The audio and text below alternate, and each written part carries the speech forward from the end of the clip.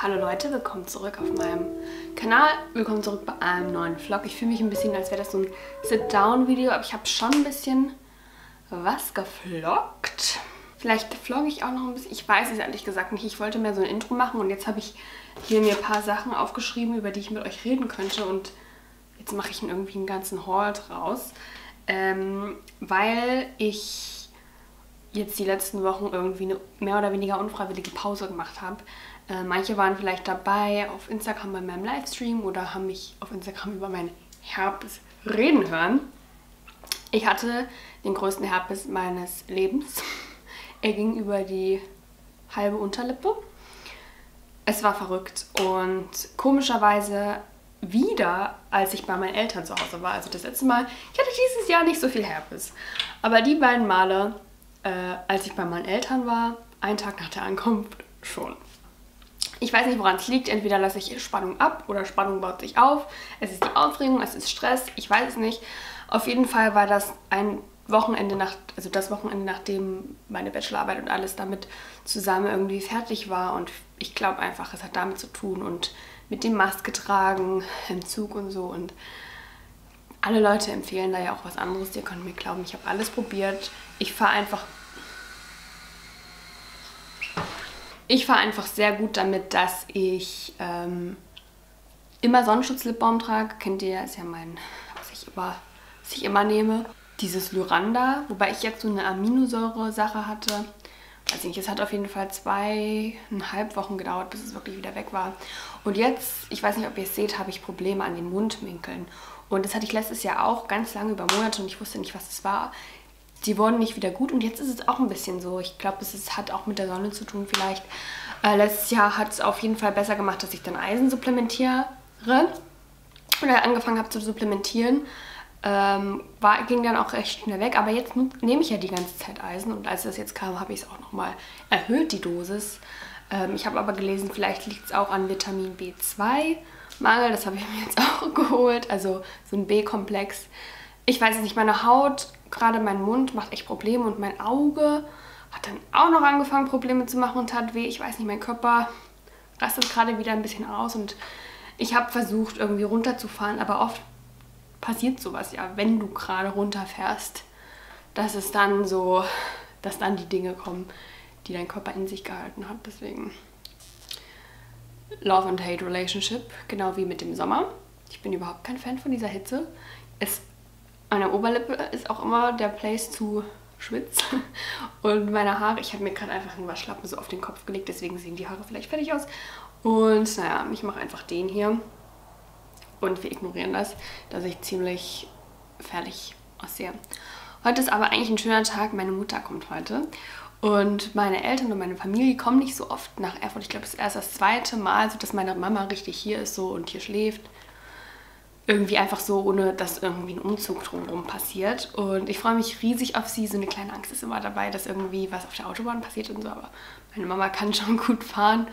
Und ja, sie bleibt bis Sonntag. Wir wollen uns mal Weimar angucken und so weiter und so fort.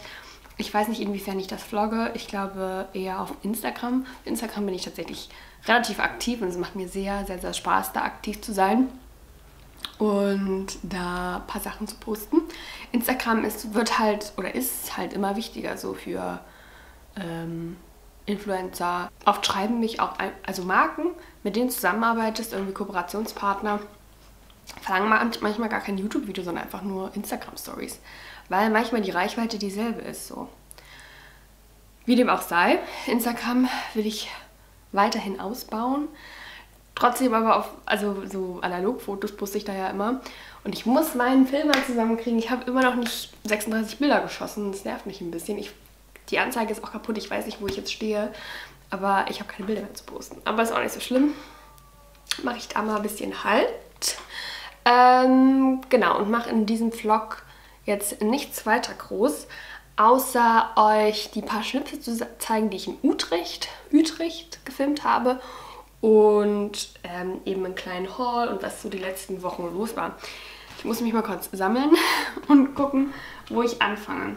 Vielleicht fange ich einfach, ähm, wie ist das Wort? Chroma, chromatisch? Nee, chronologisch. chronologisch an. Ähm, ich habe ja nicht mehr gefilmt, seit ich die Bachelorarbeit abgegeben habe. Ich weiß gar nicht, ob ich sie euch doch, das habe hab ich gezeigt. Aber ich hatte auf jeden Fall nicht meine eigene Bachelorarbeit. Ich habe die dann auch irgendwann bestellt, bevor ich mit meinem Freund nach Wuppertal gefahren bin. Das war jetzt letzte Woche. Und dann kam, wie gesagt, der Riesenherbst. Ich hatte die Bachelorarbeit noch nicht, aber jetzt habe ich sie heute abgeholt.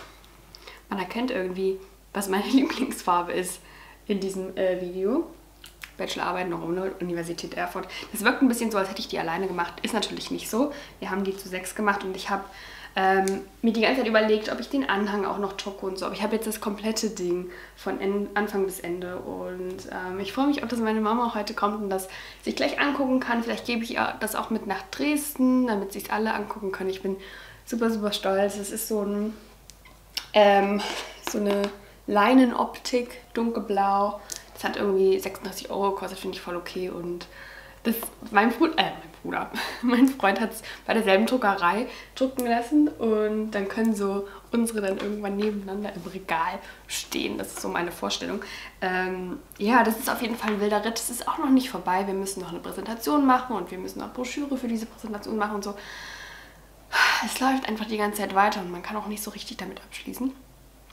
Ähm, aber ja, ich bin jetzt eine Bachelorette. Als ich in Dresden war, gab es da auch eine riesen ich weiß nicht, ich habe da ja auch schon mal so ein bisschen angefangen drüber zu reden in meinem Livestream. Ich kann noch gar nicht so richtig Worte finden, weil vielleicht merkt ihr das auch, ich kann mich gar nicht so richtig darüber freuen, weil irgendwas ist noch dahinter. Ich bin jetzt auch noch nicht mit dem Studium fertig, wahrscheinlich kommt die große Freude dann. Aber ähm, wir hatten dann so ein Essen mit äh, einer Freundin von meiner Mutter und irgendwann es war auch spät am Abend, ich war todmüde und wir sind nicht gegangen und sie war einfach angekotzt und dann kam aber das Gespräch auf mich zu sprechen und auf das Studium und wie wichtig es heute ist, bla bla bla. Und dann kam es irgendwie raus, dass dieses Studium, was ich dafür so gegeben habe und irgendwie auch aufgegeben habe, und immer diese Frage, war es das wert? War es mein Zusammenbruch damals wert, mein Burnout, ähm, meine schwere depressive Phase. Das ist alles auch gewesen, weil ich irgendwo was studiert habe, was mich nicht zu 100% interessiert. Und das wäre bei jedem Studium, bei jeder Ausbildung, das wäre immer so gewesen. Weil ich eine, einfach keine Person bin, die das befürwortet oder das gut findet, wie dieses Bildungssystem aufgebaut ist. Ähm, und dass es immer um Punkte geht, um Leistung, dass sehr viel Druck dahinter liegt. Ähm, und ich eher bin der, jemand bin, der macht und eigene Sachen voranbringt. Und diese eigenen Sachen habe ich ja, YouTube, dir. Und ich habe immer gesagt, ich hätte so viel mehr schaffen können, wäre das alles nicht gewesen. Und jetzt das letzte Jahr, einfach das Jahr, wo ich das Studium nicht so einfach so hinten anstellen konnte, das habe ich vorher mir leisten können. Jetzt aber nicht, diese ganze Bachelorarbeit, diese ganze Gruppe hing da dran. Und ich habe das mehr oder weniger auch für die gemacht, dass ich mich angestrengt habe, weil ich selber, pff, mir sind Noten egal, mehr oder weniger. Ähm, ja, und ich frage mich halt so, wir haben uns halt so gestritten, die sind halt aus der Generation von, man braucht einen Abschluss, man braucht eine Ausbildung, blablabla. aber ich, ihr vielleicht auch, ich kenne genug Leute, die es auch ohne geschafft haben, wisst ihr, was ich meine? Trotzdem bin ich natürlich mega, mega dankbar und ähm, sehe diese ganzen Türen, die mir dieses Studium, dieser Abschluss irgendwo auch ermöglicht und gerade auch dieser Abschluss von Kommunikationswissenschaft aus Erfurt, ähm, wenn ich jetzt irgendwie noch einen Master machen wollte oder so, das würde richtig gut ankommen, dass ich schon mal ein Studium durchgeführt habe zum Beispiel. Ähm, habe ich jetzt auch drüber nachgedacht, ich weiß nicht, ob ich das aus dem Vlog aus Utrecht von der Autobahn reingeschnitten habe dann. Aber ähm, ich weiß nicht, ich hätte halt, wenn man meine Schulbildung, meinen Abschluss und meinen Lebenslauf ansieht, da werde ich ganz emotional, weil ich hätte alle Möglichkeiten. Ich will, also, was heißt, ich will sie nicht, aber es ist einfach, es ist so verrückt. Ich würde sie manchmal gerne anderen Leuten, die wirklich das wollen und darum kämpfen, abgeben. Und ich weiß nicht, ich bin sehr, sehr dankbar, aber trotzdem so ich weiß nicht, ich muss noch meinen Weg damit finden, dass ich jetzt jemanden bin, von dem ich nie gedacht hätte, dass ich sie sein werde so und ich bin einfach so gespannt. Vielleicht ist es auch einfach so eine, eine tiefe Dankbarkeit und ich habe noch gar nicht realisiert, was ich so in den Händen halte und dass das so, so viel wert ist. Ich schätze, mir geht es einfach darum, dass ich mit dem, was ich jetzt habe und kann, so viel wie möglich anstelle und dass ich so weit wie möglich das ähm, bringe. Und dieser Job bei meinem Professor, jetzt wurde ich auch noch angefragt, ob ich bei den Eignungsfeststellungsverfahren dabei bin, also in Erfurt bei der Kommunikationswissenschaft gibt es das und ich habe das damals auch durchgemacht, diese Gespräche, dieser Test, dieses Bewerbungsschreiben. Und jetzt werde ich selber gefragt, ob ich da Leute testen kann, bei Gesprächen dabei sein kann. Das ist eine große, große irgendwie Ehre und ich denke mal, irgendwas hast du richtig gemacht, Nora. Und das, obwohl du, obwohl dein Studium mir relativ egal ist. Ich, ich weiß nicht, ich glaube, mir ist einfach wichtig, dass ich diese Insel, dass ich weiß, dass das nur eine Insel ist und dass man diese Insel auch verlassen kann, aber trotzdem, dass du von der Insel ganz viele Flugplätze hast. Und es kann jetzt in alle Richtungen gehen. Ich glaube, ich brauche einfach noch mehr Zeit zum Nachdenken, was das angeht. So viel zum Thema Bachelorarbeit. Ja, dann war ich ein paar Tage hier und dann habe ich gesagt, Freund, ich komme mit dir in deine Heimattown Wuppertal, äh, weil es hier zu heiß ist. Es war die ganze Woche über 30 Grad und da will ich einfach nicht hier in meinem Dachgeschoss sein. Dann sind wir zu ihm, äh, hatten auch eine gute Zeit. Ich habe nicht viel gemacht. Ich habe dann noch eine Hausarbeit geschrieben. Ach, dieser Vlog wird ewig lang und es ist ein Labervlog, aber egal. Weil die Zeit mir auch richtig viel gegeben hat. Ich habe die halt einfach nur dahin gelebt. Aber ich habe auch Sachen gemacht, zum Beispiel eine Hausarbeit geschrieben, äh, vor der ich ein bisschen Bammel hatte irgendwie. Das war die in positive Psychologie und wir sollten uns eine Intervention ausdenken. Und ich hatte gar keine Ahnung und auch natürlich keinen Bock, Hausarbeiten zu schreiben. Aber Hausarbeiten schreiben liegt mir mehr oder weniger. Ich weiß nicht, was ich für eine Note bekomme. Äh, vielleicht liege ich auch falsch, aber ich habe das runtergerattert und es ging. Und was mir nicht liegt, ist dieser Teil von wegen, ja, schreib nochmal alles über Achtsamkeit und alles Social Media. So, das mache ich und das macht mir keinen Spaß. Aber dann sollte man halt sich was Eigenes ausdenken. Und ich habe halt etwas zum Thema Achtsamkeit auf Social Media gemacht. Und Achtsamkeit ist halt so ein hohler Begriff irgendwie. Ähm, was soll man damit anfangen? Aber ich habe halt überlegt und hatte so eine Idee schon länger im Kopf, die einfach nur ein Wort war, Social Media Führerschein. Und jetzt habe ich den halt so mit Leben gefüttert. Social Media Führerschein sollte für mich was sein, was du irgendwie machst, bevor du Social Media machst. nee, das ist, ein, das ist ein komisches Deutsch. Bevor du dich auf Social Media anmeldest, solltest du dich damit auseinandersetzen. Warum, wieso, weshalb, wo, wie willst du da auftreten und so. Ich als junger Mensch habe einfach nur gemacht, gemacht, gemacht nachgemacht, auch teilweise, weil es die anderen gemacht haben oder weil es große Stars hatten, wie auch immer.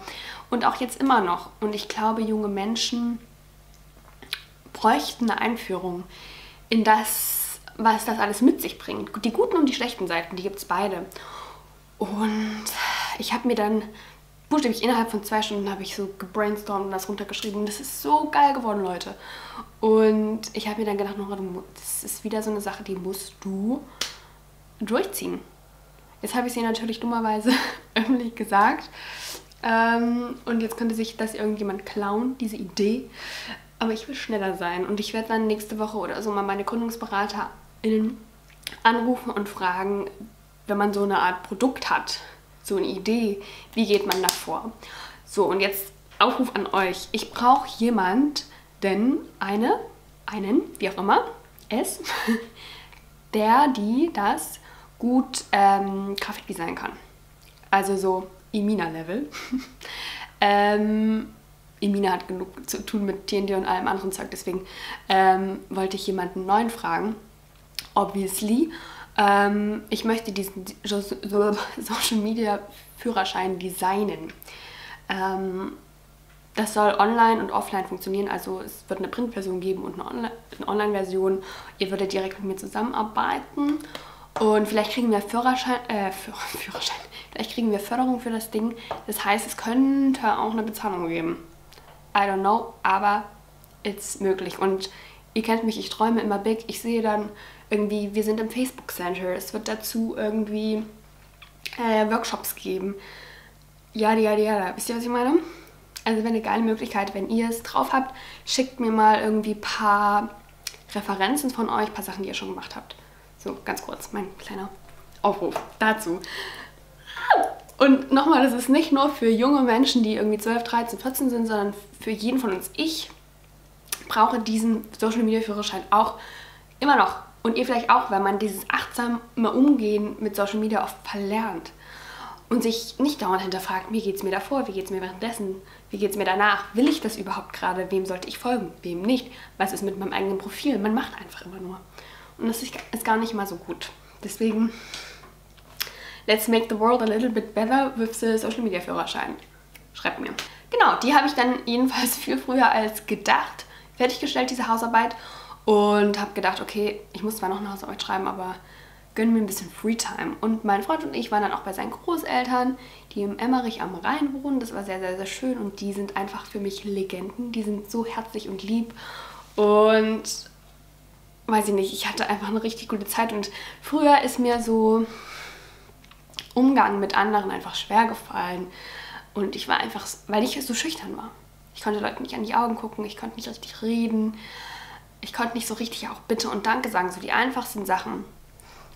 Und ich wurde aber total früh in dieses Feld der externen Familie reingeworfen, so weil ich meinen ersten Freund relativ früh hatte.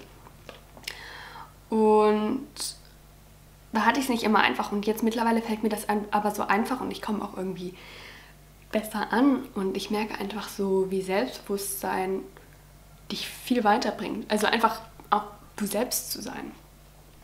Ähm, deswegen das nur noch mal so kurz am Rande. Ähm, ich wünschte, ich wäre einfach früher ich selbst gewesen, früher offen gewesen und ich glaube, das ist aber auch einfach was, was mit dem, was mit dem Alter kommt.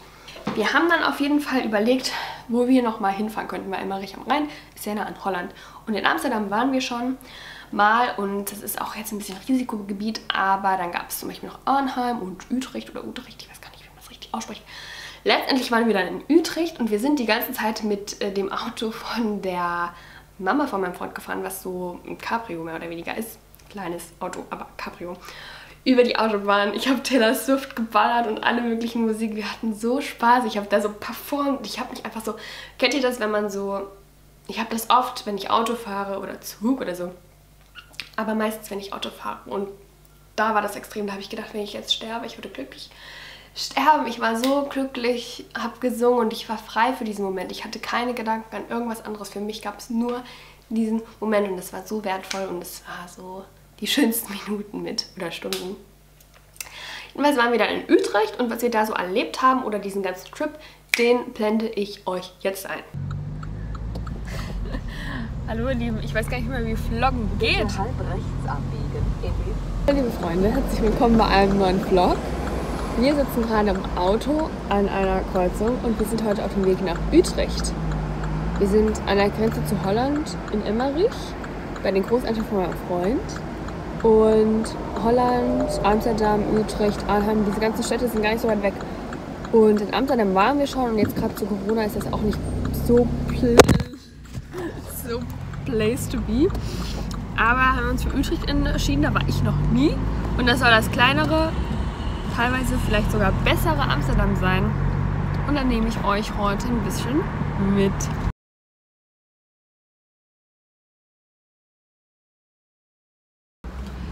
hier die ganze Zeit den DJ. Mein Freund lässt mich ein Glück. Und ich hau hier alles raus. Das ist ganz wichtig. Also gestern hat er mich gelassen. Hat er mich gelassen. Ich habe hier ein Konzert veranstaltet. Das, ich bin so glücklich, weil ich glaube ich lange nicht mehr. Du bist fühlst dich so frei in diesem Cabrio. Du singst deine Lieblingssongs. Und du performst und man fühlt sich einfach so frei. Kennt ihr das, wenn man das Gefühl hat, okay, wenn ich jetzt sterben würde, wenn jetzt was passiert, dann würde ich glücklich sterben. Das habe ich, ich Cabrio fahre. Aber ich will nicht sterben. Gerade dann will man ja weiterleben, weil man denkt, es ist alles möglich. Und wir fahren gerade nach Holland, nach Amsterdam. Also nicht nach Amsterdam, aber ich musste so an Amsterdam denken. Und eine meiner Freundinnen äh, studiert jetzt bald in Amsterdam. Den Master sozusagen von Kommunikationswissenschaft, wenn man so will. Der heißt anders, aber ne? macht einen Master. Und da habe ich so gedacht, ich frage mich, ob ich es auch schaffen würde, in Amsterdam irgendwie angenommen zu werden oder eine Empfehlung schreiben zu kriegen von meinem Professor. Und dann habe ich so gedacht, die Möglichkeit besteht tatsächlich. Und das finde ich so. Das finde ich so verrückt zu denken. Und dass diese Möglichkeit besteht, das lässt mich das irgendwie ausprobieren wollen. Ich würde das gerne herausfinden, ob das ginge. Aber ich will ja keinen Master machen. Von daher, das sind gerade so meine Gedanken. Oder vielleicht mache ich doch einen, wenn ich dafür in Amsterdam wohnen kann. Ja. Also, Utrecht muss man sich vorstellen, wie Amsterdam. Hier ist ein kleiner, kleiner Kanal. Schöne Gassen. Da unten müsste man sitzen. Ne? Hier sieht es so richtig aus wie Amsterdam. Finanzier dir deinen Burger. Bin ich so in Vlogging-Laune. Aber wir waren gerade essen, das war sehr lustig. Die haben da gerade ein Fotoshooting gemacht, waren wahrscheinlich neu. Und mein Freund so, und jetzt werden wir bestimmt gleich noch fotografiert. Fünf Minuten später kommt die vorbei und fragt, ob sie von uns draußen, was habe ich hier, Fotos machen dürfen. Wir so, ja. Ich musste natürlich die ganze Zeit feiern. Ich bin so unfotogen. Mm, es war sehr lecker, gab Suppe. Super hieß das. Ich verlinke das mal in der Infobox. Und jetzt haben wir noch einen Brownie gekauft. Ich glaube, ich habe noch nie so einen geilen Brownie in meinem Leben gegessen. Ähm und jetzt, wir sind eigentlich schon fast durch. Wir haben, glaube ich, alles gesehen. Wir verbringen jetzt auch nicht noch Jahre hier. Ja, ich habe dann auch kein Outro gefilmt. Äh, wir sind dann wieder halt heim, direkt nach Wuppertal und hatten dann noch ein paar letzte schöne Tage. Und jetzt bin ich hier zurück in Erfurt. Ich kam hier rein, ich habe mich direkt wohlgefühlt. Ich liebe meine Wohnung. Ist natürlich sehr heiß, die nächsten Tage werden aber nicht mehr so heiß. Deswegen bin ich auch guter Dinge. Zwei Wochen noch, bevor der... Ah, nee, eigentlich... Ja, egal. Bevor der Haul kommt, nochmal Bücher, die ich gelesen habe und Filme, die ich geschaut habe. Und dann legen wir los. Einmal alte Sorten bin ich durch. Oder macht das überhaupt Sinn, das euch jetzt zu zeigen? Ich mache ja noch ein, noch ein, noch ein Du bist, was du liest. Aber für den, die, die es interessiert, Alte Sorten habe ich gelesen. Habe ich sehr geliebt, finde ich sehr schön. Ist ein sehr schöner Sommer-Read. Mehr dazu dann, ähm, falls ihr Inspiration braucht, ne? Mehr dazu dann, du bist, was du liest. Und dann habe ich mir das gekauft. Wir waren auch in Düsseldorf einen Shopping Day machen, wo ich nichts gekauft habe, außer ein Schlüpfer. Ähm, da habe ich mir das gekauft, Three Women, weil das einfach, ich wurde verführt von diesen ganzen Leuten, die hier schreiben, wie geil es ist. Und da dachte ich, du musst es lesen. Und bis jetzt sehr impressed. Zwei Filme, die wir geschaut haben. Einmal, beziehungsweise ein Film haben wir geschaut und ein was habe ich gestern komplett durchgesuchtet. Der Film Parasite. Ist ja ein übelst viel besprochener Film und sehr viel awarded, was ist das deutsche Wort, hat viele Awards gewonnen. Guckt euch den Trailer an, wobei man auch nicht viel durch den Trailer erfährt. Es ist einfach eine Gesellschaftskritik. Ähm, es gibt eine sehr relativ arme Familie, die ganz unten ähm, ist von der Schicht her und nach und nach fangen die an, bei einer sehr reichen Familie zu arbeiten. Und dann gibt es ganz, ganz, ganz viele Wendungen und du denkst immer, okay, jetzt kommt noch was und noch was und noch was. Und wirklich viele Plot-Twists und das liebe ich ja. Und ich habe mir danach, das ist so ein Film, wo du danach noch nachlesen musst, was du verpasst hast. Also irgendwie die Interpretation und so. Und dann denkst du dir so, ah, ah, stimmt, stimmt, stimmt. Und einer der besten Filme, die ich seit gesehen habe, äh, weil er einfach so reichhaltig war. Und ich kann ihm euch sehr empfehlen. Den gibt es auf Amazon Prime. Das habe ich nicht, das hatten die dort. Ähm, wenn, irgend, wenn ihr jemanden kennt, der Amazon Prime habt, dann oder wie heißt das? Amazon Video. Schaut es euch an. Was ich gestern durchgeguckt habe, ist Biohacker. Eine deutsche Serie, die in Freiburg spielt. Es geht um Medizin in Bio, Gentechnik, all das. Es ist super spannend, es ist aber auch lustig, es ist irgendwie studentisch, man hat Bock, jung zu sein. Und es ist ganz, ganz spannend. Ich habe sechs Folgen, ah, 40 Minuten ungefähr. Ich habe alle durchgeschaut. Ich konnte aber gestern auch nichts mehr anderes außer irgendwas angucken und mir reinziehen. Äh, das kann ich auf jeden Fall sehr, sehr empfehlen. Kommen wir zum Haul. Ich habe einige Sachen hier. Ähm, teilweise aus Dresden, hat mir meine Mama mitgegeben oder von meinem Shopping-Trip aus Dresden. Und die Mama von meinem Freund hatte auch viele Sachen aussortiert, beziehungsweise ihre Schwester. Ich durfte mir da was raussuchen, da habe ich auch ein paar Sachen mitgenommen. Ich dachte, ich zeige die euch einfach mal. Ich mache nicht so viele Hauls, aber gerade bietet sich an, weil echt viele Sachen zusammengekommen sind. Unter anderem auch ein paar Beauty- und Skincare-Sachen.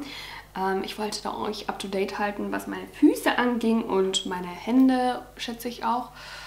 Ähm, ich war dann bei der Hautärztin, das war auch noch zur Zeit, wo ich den riesen Pickel hatte, äh, Herpes. Die hat mir nicht wirklich geholfen, ehrlich gesagt. Ich kam zwar gleich dran, aber irgendwie, die hat mir halt irgendwas angekreuzt, was ich mir da holen soll. Diese Creme, sie hat meinen Händen so ein bisschen geholfen, aber nicht meinen Füßen. Vielleicht muss ich nochmal zu einem anderen Hautarzt oder so. Ich habe mich echt, das ist halt schade, weil die sich nicht so viel Zeit für dich nehmen können heutzutage im Gesundheitssystem. Das ist manchmal nicht deren Schuld, aber ja, die Creme hat auch 10 Euro gekostet und ich bin so semi-zufrieden. Und dann wollte sie mir was, hat sie mir was empfohlen gegen Herpes und dafür brauchte man aber ein Rezept. Dann stand ich da in der Apotheke, weil das haben und die meinte, nee, sie brauchen ein Rezept. Und das sollten Ärzte dann schon irgendwie drauf haben. Naja, ein paar andere Sachen noch. Ich hatte mir mal eine neue Reinigungsmilch geholt. Meine andere liebe ich zwar. Ich wollte eine, die für Gesicht und Augen ist. Und ähm, eine, die irgendwie aus recyceltem Plastik ist. Das ist diese hier von Lugona. Sie ist allerdings nicht für Augen geeignet. Sie ist nur fürs Gesicht. Und das Ding, warum ich mir eine neue holen wollte, ist, weil ich immer gemerkt habe, okay, wenn ich mich abschminke, ist noch ganz viel Wimperntusche auf dem Handtuch. Ähm, letztendlich war die Lösung dann, mir einen Augen-Make-up mit Ferner zu holen. Als ich den dann aber benutzt habe, habe ich wie gesagt mein Augenproblem bekommen. Deswegen weiß ich nicht, wie gut ich den finde. Wenn ihr irgendwelche geilen ähm, Augen-Make-up-Entferner oder Entferner kennt, die gleich fürs ganze Gesicht sind, am besten so hier reinmachen und aufschauen und alles ist fertig. Nicht aus Plastik, vielleicht in der Glasflasche irgendwie so oder aus recyceltem Plastik. Halt irgendwie nachhaltig, dann schreibt mir mal. Ich mache das jetzt aber erstmal alle.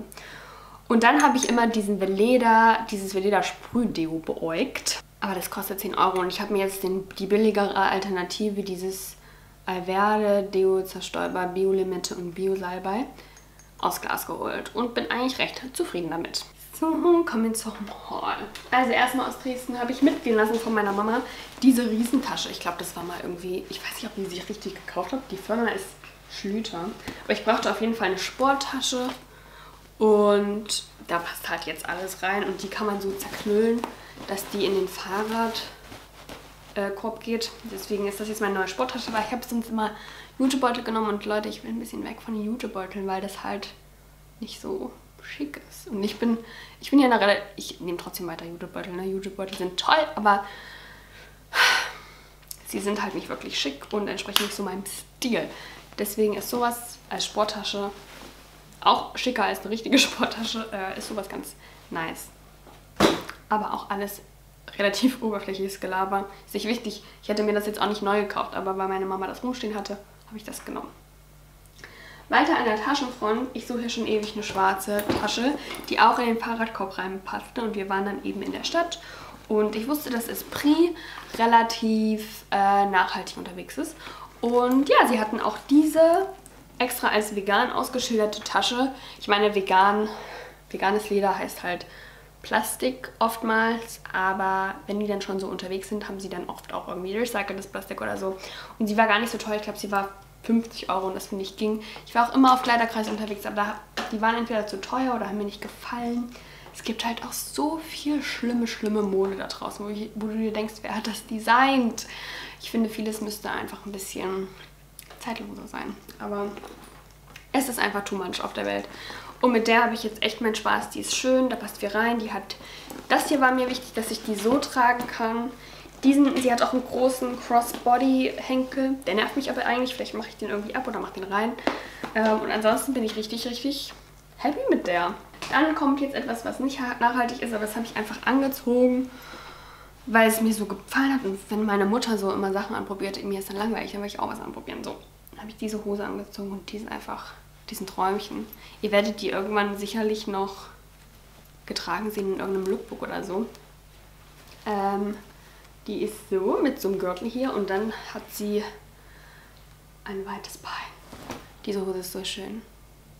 Die ist so 70s-mäßig. Sie sieht richtig cool aus. Sie ist aber dick für den Winter. Jetzt im Sommer kann ich die nicht anziehen, höchstens abends, wenn es nicht so warm ist.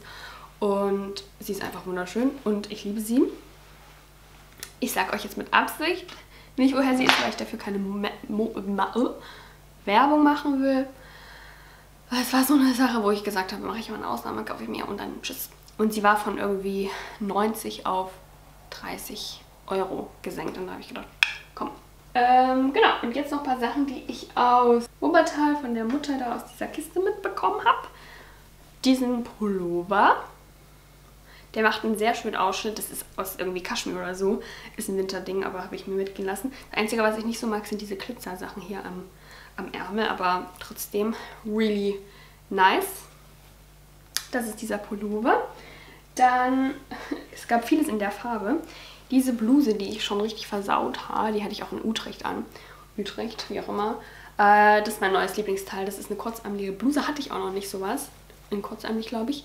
Ähm, die sieht sehr schön aus, schick und I love it.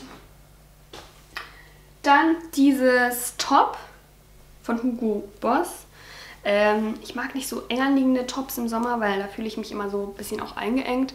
Das ist schön flowy, es ist eine coole Color. Ich habe ja nicht so viele farbliche Sachen, deswegen äh, finde ich das ganz, ganz toll. Und es ist auch nicht so, all diese Sachen sind nicht so, dass sie die Marke so schreien. Das mag ich nämlich auch nicht so gerne. Und letzteres, da war ich hin und her gerissen, ich habe es jetzt erstmal mitgenommen, ist dieses Kleid. Ähm, das ist so lang und dann gibt es noch dazu einen Gürtel, der auch aus dem Material ist, den machst du dann hier so zu. Und ich habe das dann so ganz oben zugeknüpft und das ist irgendwie richtig cool, auch so mit meinen Superga und so. Ist mal was anderes, keine Ahnung, ich schau mal, ob ich es anziehe, ansonsten seht ihr es dann irgendwie auf Kleiderkreisel. Ich habe auch eh noch ein paar Sachen hier, die ich jetzt auf Kleiderkreisel stellen möchte. Mal sehen, wann ich das mache.